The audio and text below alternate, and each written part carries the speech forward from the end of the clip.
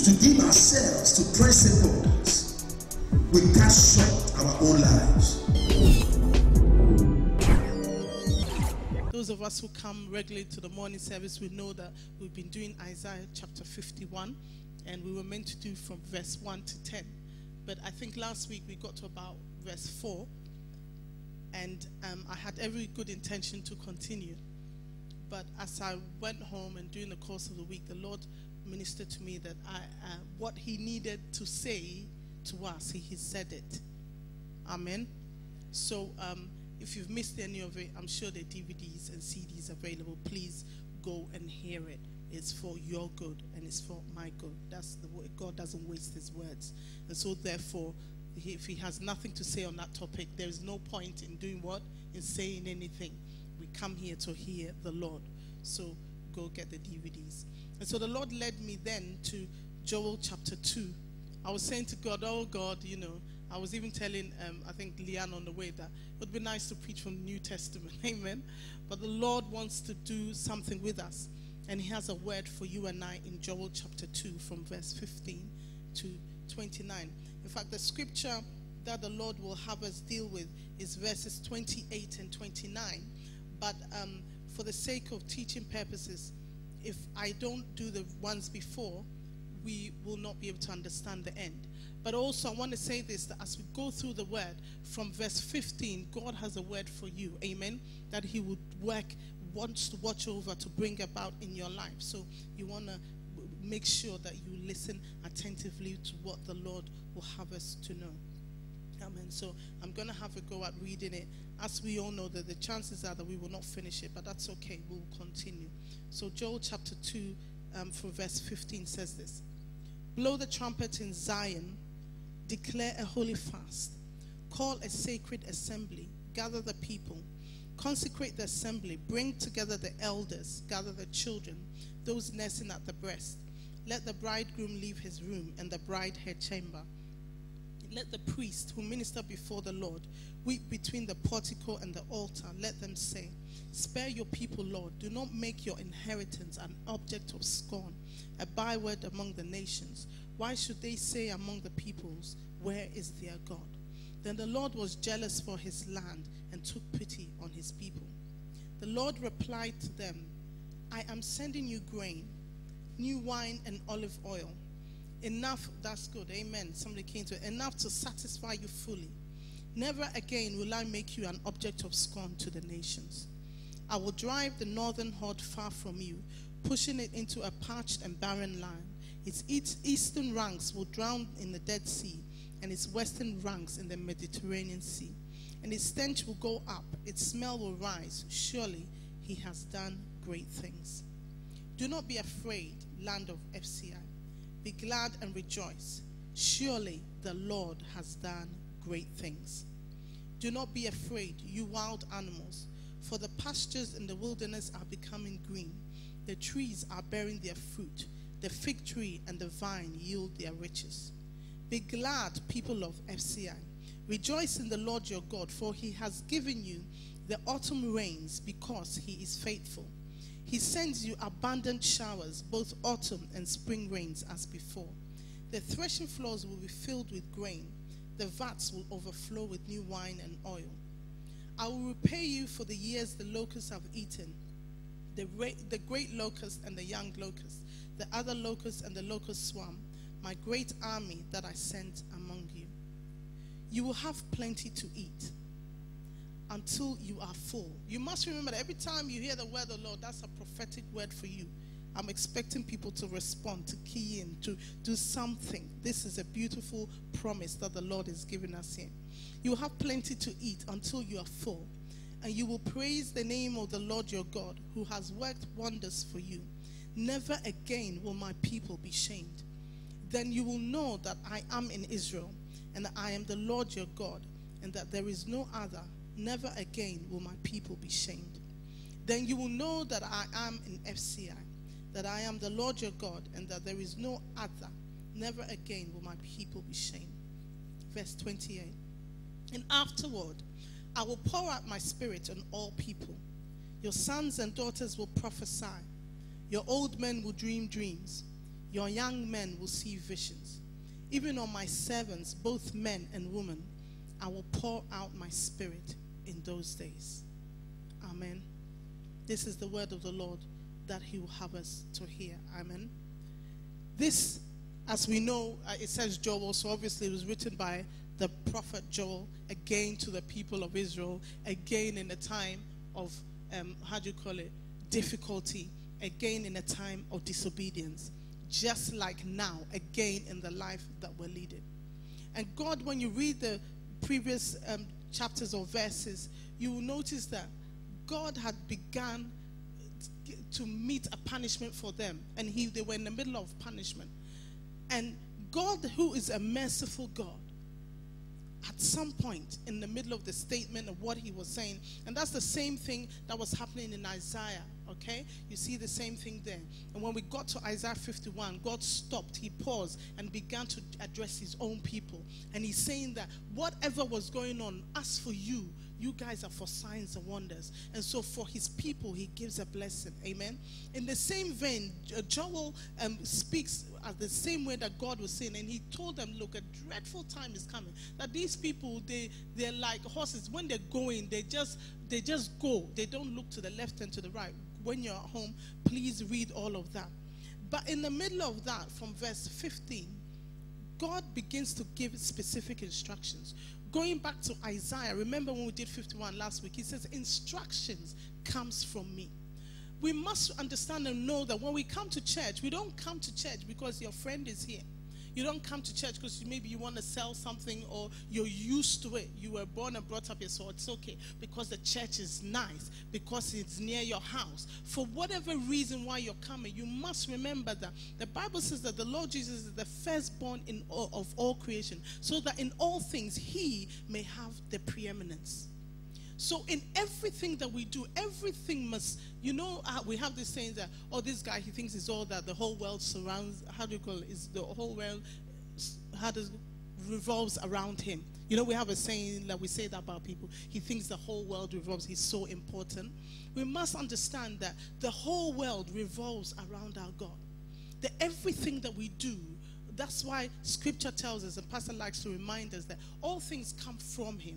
It goes through him, and then it does what? It goes right back to him. That is the cycle in which we must conduct our lives.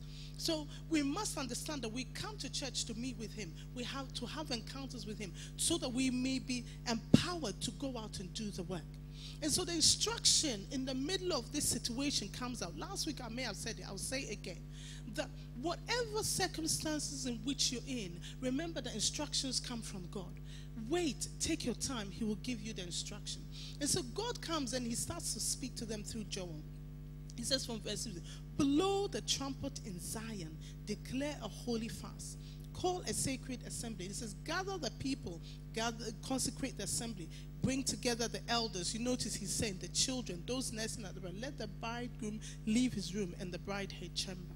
This is extremely important. Blow the trumpet means make an announcement. In, in Israel's time, and some of us in some African um, villages, we do that. When the king wants to make an announcement, he's got somebody who goes ahead to make the announcement. And then they have this um, thing that they, they, they you know, make noise with. And they, do, do, do, do. So the whole town has to do what? To listen. And says, this is what the king wants you to understand and know. And that's what they did. When it's time for worship, they blew the trumpet or they blew the shofar. This thing here is a shofar. And it can also be played, it can be blown. And once it is blown, it means that come, everybody come together. So the time that we come to church, if you like, we may not have a trumpet. In fact, we have a trumpet. We should start doing that, isn't it? Blow the trumpet, say, it's time for service. The soon as Pastor Adum picks up his microphone, that is the trumpet that we're blowing. That it's time. So that means that we must be in church on time. Amen. It's true. You have to be there to, blow, to hear the trumpet blown. Because immediately it's blown, that means that it's the beginning of something important. So God is a blow the trumpet in Zion. That's the church. Declare a holy fast. Don't worry, I'm not going to put you on fast. But when it's time for us as a body to go on fasting, as soon as the trumpet is blown, it's a declare a holy fast. Call a sacred assembly, gather the people. It says, consecrate them, bring together the elders, the children, those. You see how important it is. Do you understand? When we're doing 21 days fast, some people don't, you know, children, whatever, whatever. It's also good to make children fast. Maybe the children, it's 21 days, say, okay, you, you're not eating meat or you're not eating. Do something so we can teach our children in the, how to go in the ways of the Lord. There's nothing wrong with that. Because when you look at this, oh, eh, I'm breastfeeding, you notice that. It's never mind the breastfeeding mother, it's talking about the child at the breast. Do you understand? I'm not trying to knock it. All I'm saying to you is that when it's time for fasting and a sacred assembly has been called, it is important that each one of us if you're breastfeeding, you can adapt your diet. There's nothing wrong. There's no nothing wrong. What about the vegetarian mother? The vegetarian mother still breastfeeds, right? That's for another time. Amen. So it was very important. Even that uh, what the, those nursing at the breast, not those who are nursing, those the babies. So saying that even put the babies on the fast. Wow, that was a serious time. So if at 6 a.m. feeds, and no, sorry, baby, you're not having 6 a.m. feed. Hey, I know. But all I'm trying to say is that this was a serious time. It's to let the bridegroom leave his room and bride her chamber. In Israel, when you got married, you had one year honeymoon. Yeah, no. Those of us who are not married say, I wish we could go back there. So for one year, you don't go to work, you don't do anything. You just stay. Amen. you just stay in the room in your closet, you and your wife, and just, you know, have honeymoon. so by the time the end of the year is, you know, double, double. You have to produce children. But even the bridegroom, the bride, come out of your chamber. It's not time for honeymoon it gets to a time where certain things have to be put. And it talks about uh, let the priest, and it, it goes on. He said, let them do that. Do not make your inheritance. And it goes on. Verse 19 says this. We'll just do this so that next week we can actually deal with the text that we're doing with. But the, uh, the verse 19 says that the Lord replied to them, I'm sending you grain, new wine, and olive oil, enough to do or to satisfy you fully I receive it. I walk in it. Remember, the word of the Lord that comes to you is very prophetic. Sometimes people will say that, oh, I have not been prophesied to, but you heard the word. And the other reason why I want to emphasize as I speak this word is because I've already told you. I, should, I couldn't. I didn't have to tell you. But the reason why I explained to you, and you all knew that I had every good intention to finish from verse 1 to 10 of Isaiah, right? Because when we started, I told you we're doing 1 to 10. We did a couple of weeks ago. We did, I told you last week we're doing 1 to 10. But the Lord, for in fact, for a while has been dealing with me about this. And just for those of you who are a little bit not sure what she's going on about, when I came to Freedom Time on Thursday, the Lord confirmed this exactly because the exact word came, then I knew that it was time and God would not release me otherwise but to speak this word. And so, if that being the case, then every word that you hear is a prophetic word for you. Now, when the prophetic word comes, just like God's word comes, it's up to you as how you receive it. Do you understand what I'm saying? As Jesus is a prophet, he's not accepted in his own home. What he's saying is that he wasn't any less God but because the people did not receive the word that came. So I know that God is speaking to me and He's prophesying to you. He says, I am sending you, Dorothy, grain. I'm sending you new wine and olive oil, enough to satisfy you fully. Never again will I make you an object of scorn to the nations. That from this year, 2012, never again will you be an object of scorn to the nations. He is not telling you and I that just for the now, yes, for now. From now on, He's bringing us new grain. From now on, He's bringing us new wine. And from now on, He's bringing us olive oil. But He doesn't mean just for 2012. Because remember, He says that never again. He didn't say that after this time, after this time, after 2012, you go back to square one. So then you can lack grain. What is God telling you and I? Grain is what? Food. Grain is food. You and I know that Jesus is the bread of life.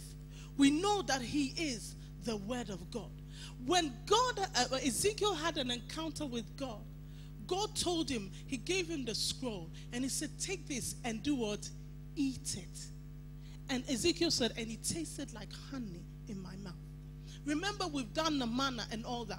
What God is telling you and I is that He's giving you His word. He is giving you His word, grain. I'm giving you my word. You cannot do without His word. You cannot do apart from this word. So, this year and forever, as we hear seasoned word at this pulpit, we know that we are a blessed people. Nobody stands at this pulpit any and anyhow. The God Himself speaks the word. And from here right to here, so the word is seasoned for you. He says, I'm giving you grain, word in season. Word in season. He spoke to Isaiah, he said, I'll give you a word in season that you will know how to speak to the weary. And I've given you a tongue of the learned. And Isaiah. And so, as the word of God comes, He gives you the word, and then He gives you the word to also speak the word. We are, are out here to make disciples. I give you grain.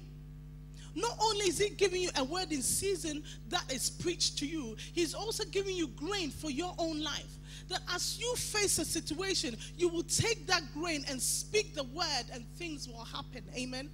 That you also, as you go out there, you go into situation in your workplace, in your school places, in your colleges, wherever you are, even on the street, you can speak the word and the situation will turn around. But God will honor his word all the time. Amen. So he's telling you and I that his word, he'll give us grain.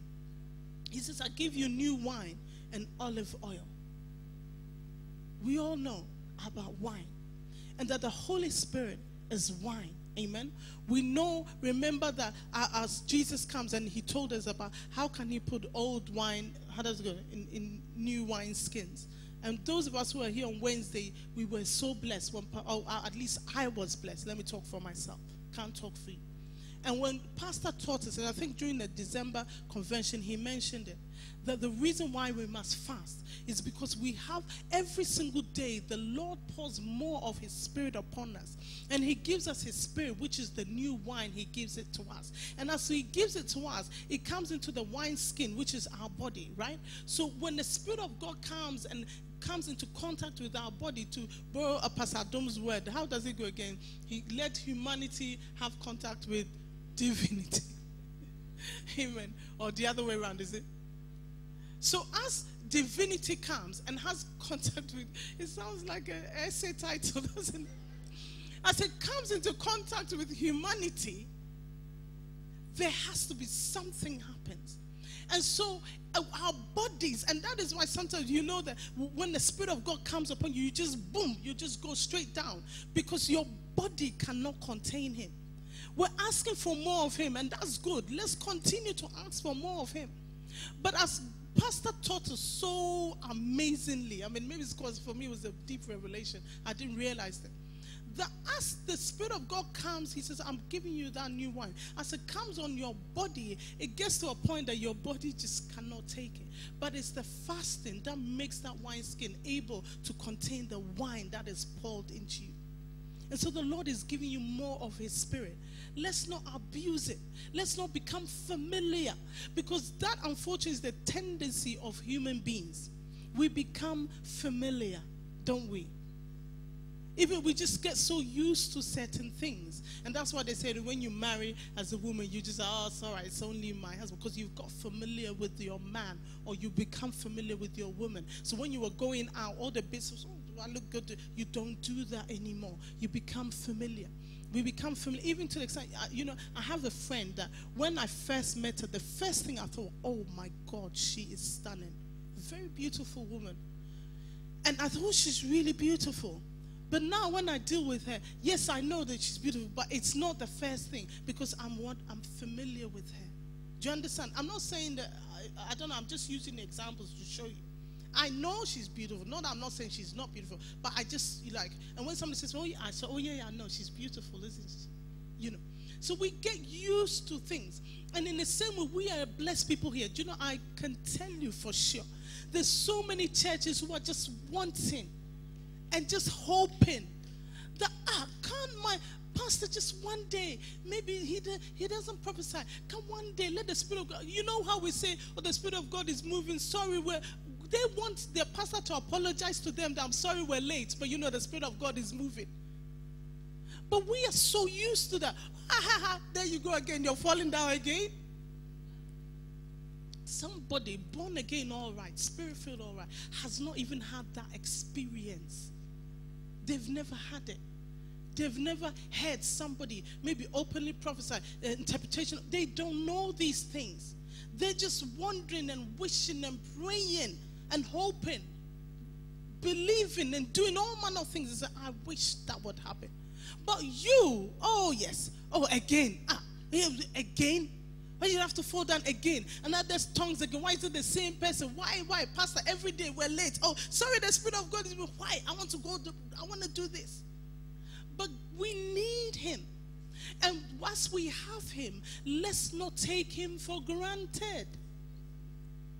You know, let's seek him while he may be found. We don't know. I know you get bored of hearing me say that. Some of you may do but you don't know. As the warnings are coming, prepare yourself. Because when the word comes, there's a reason why, there's a future ahead. So let's just take that word and let's run with it so that it will benefit you and I. He says, I'm sending you grain, new wine, and olive oil, the Spirit of God. Enough to do or to satisfy you fully. Olive oil, the anointing that is on your life, the call that is on your life Oh, I don't have a call. We all have. Remember, God never makes anybody useless. And like I say here, who has ever heard of an inventor who has invented something and then you ask them, why did you invent this or what is it for? And they say, I don't know. That's silliness, isn't it? Oh, what a silly. That doesn't make any sense. Everybody knows, even to the child who's drawn something that looks like two heads, they can interpret their art for you. Yeah, they look at it, so this means this and that. Oh, I see. The anointing, that olive oil, is representative of the Spirit of God, and the call, your particular anointing the new wine representing the fullness of the Holy Spirit. The olive oil representing you. Just like we know that David was anointed as king with oil from the shofar.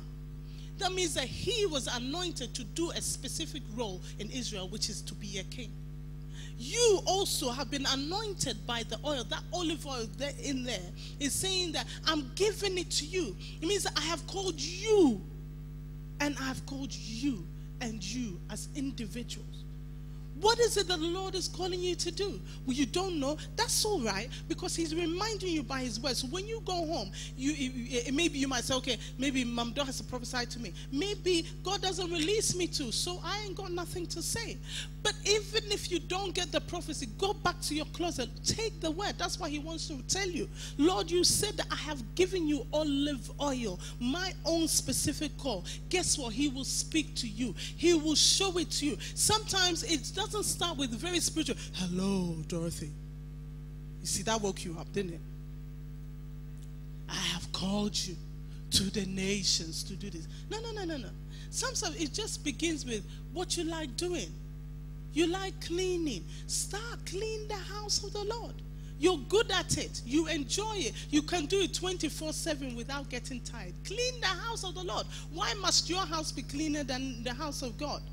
Come clean then you as you do that then your oil begins it begins like that on that journey i've given you olive oil you like to sing and you've got a good voice no you like to sing but you've got a challenging voice. If you like to sing and your voice is challenging continue to sing. Just sing in your own closet. Amen. God bless you.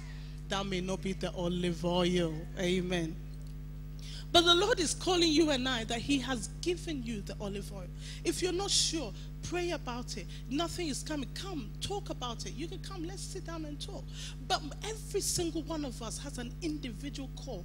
God has brought us onto this earth for a purpose. When it's all said and done and we come to your funeral, we should be able to quote with Paul I have run the race, I have finished my course. That's it now. Goodbye. Bye bye. They came and left a legacy. What are we leaving? What will we leave? I have given you olive oil work to do. Amen. Those of us who have children, we're not sure. Let's pray over it. This is the scripture for us. He says, enough, enough to satisfy you fully, forever, fully. Amen. Never again will I make you an object of scorn to the nations. Amen. I mean, come on, folks. That's wonderful. Amen. I receive it. I walk in it. Never again will he make us an object of scorn. Then he talks, verse 20. We do that very quickly. I'll drive the northern horde far from you, pushing it to a parched and barren land. And he goes on. He's telling you and I that the devil is not at your heels. He's at your heels, but he ain't going to get you. Amen. That's what the devil does. He goes around seeking whom he may devour. But if you walk in that new wine, if you walk in the olive oil, if you satisfy, you take the grain, then guess what? He, that verse 20 is for us. Amen. Do not be afraid, Dorothy. Say to yourself, do not be afraid. Speak to yourself, folks. You remember this is the word of God. You're taking it for yourself. Do not be afraid, Dorothy. He says, "Be glad and rejoice." Was that not the same word that we were speaking last week? Last week in Isaiah it says, "Joy and what? Gladness." Oh, you've forgotten already. Joy and gladness is the same word here. That's the same thing. Be glad and what? Rejoice. Joy and gladness is the same thing. Rejoice, joy, glad, gladness, same thing. He's telling you and I that joy and gladness is our portion. And that is our portion. We're walking in it. He's telling, repeating himself. Surely the Lord has done great things. Look in your life. The Lord has done great things. We're in the habit of forgetting what the Lord has done for us. Don't get bored of reminding God of what He has done for you, thanking Him. It doesn't matter if it, 100, it eh, happened 20 years ago. It doesn't matter, you know. God will not get angry. He won't get angry. Because uh, remember 20 years ago when I was born, my mother said I had a hole in my heart. And my mother said I was going to die, but Lord, you saved me. Still give him praise. Amen? It is good. It is good. It's okay. It doesn't matter. So I asked for you 20. So hasn't God done anything else for you? 20 years ago, he, he still did something for you. Still continue. Don't forget about it. When you get to the point where you don't remember, say, oh, okay, well, oh, yeah, I remember when I was sick and the doctor said this. I remember when they thought I had cancer. That happened to me once. Uh, when I had uh, my son, about six weeks or something afterwards, I went for a check. And when I checked, the doctor said, mm, that looks like a lump blah, blah. I went to, um, um, they thought I had breast cancer. And it was such an interesting time in my life because the doctor was so concerned and convinced that I had breast cancer. That that time, moment from the time where, so, no, I, that's not, let's investigate. Between that time and the time that I went to the hospital to have the, whatever they call it, mammogram or the very interesting time in my life, you can imagine doing everything, but with this at the back of my mind. Every day I would wake up and I would look at myself in the mirror and say, No, this is not but Lord, that's not what you told me. I would say it and say it, and I kept as quiet as I could, not tell anybody. It was not easy. It was awful. One of the most horrible periods in my life. And what was even more awful, I didn't realize, was the day when I went to the hospital. And when I was going to the hospital, I just could not go by myself. I was so scared. I was like, oh my God. So I forced Pastor to go along with me, and off we went. And when we go, the thing that I noticed about is that when we went to the waiting area, every single body there was as quiet as a mouse. Everybody. And as I sat there, I looked all around me and I looked at everybody sitting, and every single body was like, oh my God, What's going on in their mind? And I knew exactly what was going on in their mind. There were, um, what do you call it, magazines there. Nobody touched the magazines. Me, I like to read magazines. I was, everybody was sitting like this. And then they'll mention your name. When they mention your name, you get up. And then after a while, you come. And you, I'll be looking at faces. And that's what I was doing. I was sitting down. Then my name got mentioned. So, okay. I was so nervous and I went. Said, okay, so, so right now, um, Mrs. Ofosuware, what we have to do is that we have to send you, because it's very urgent, we do the mammogram now, so now you have to take this and go to do the thing. So when you do the thing, they will send the results via the computer, so you come back and say, hey, God is good. So we went through all of that, went to the thing, and I'm busy looking at what do they call the radiograph or whatever. I'm looking at her face. Me something to be see. But then I'm like, hey, these people see these things all the time, so I can't even read her face. Long and short of it. as I went back down and I see people coming back out crying. People, I was like, oh my gosh. And then they called me and they said, okay, Mr. Fosway, there's nothing since everything is perfect. You can just imagine me. I said, praise the Lord. So go and enjoy your children. Never forget. I said, ah, thank you, Jesus.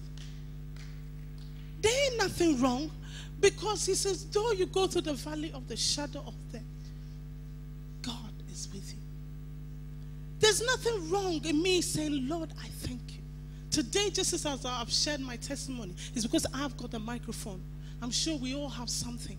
But as I have shared this and I've done it now, all I can see is gratitude. Say, thank you, Lord, that you delivered me.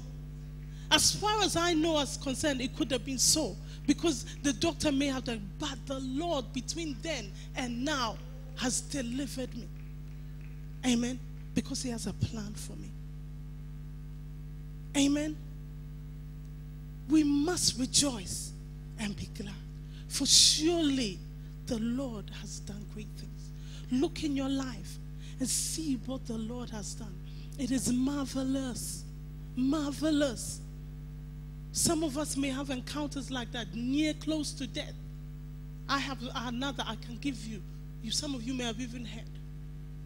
There are many testimonies that you have. The times where you were, you went for an operation and everything went haywire and upside down, but the Lord delivered you.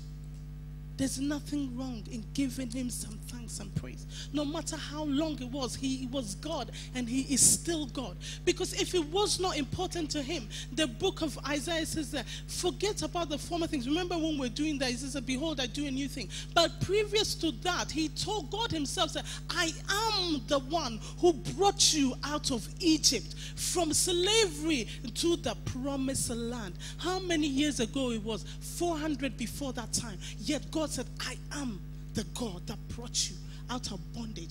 I am the God of Abraham. I am the one that brought him. And that's why when we read in Isaiah, it says, Though I called him as one, out of him I made him many.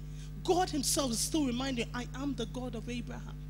I am the God of Moses, who I brought to have an encounter. And when I spoke to Moses, I said, He said, When I go, what shall I say? He says, When you go, tell them that I sent He is the same God. Surely he has done great things. Surely he has done great things. Look at where he has brought you from.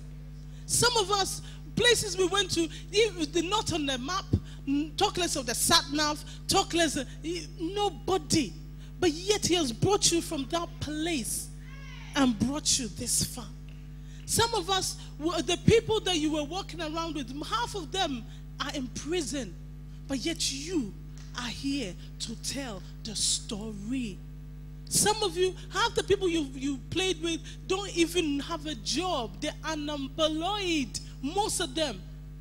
But you, but you, look at how far the Lord, we would be ungrateful saints if we do not give him praise. Surely the Lord has been good to us. Amen. Some of us, we were told that you could not bear children, yet still, I am a mother of three. Amen. For the Lord is good and his mercies and tears. You want to rise with me? Good time to stop. We want to say, Lord, we thank you for surely you have done good things. Our mission is raising overcomers, setting the captives free. Freedom Center International is here to support you in every step that you take with the Word of God as you seek spiritual and emotional wholeness. And we hope you've been blessed by today's message worship with us at 38 Upper Wickham Lane, Welling, Kent, DA16 3HF or give us a call on 0207 277 8700. You can also visit us online at fcichapel.org. And remember, there is progress in freedom.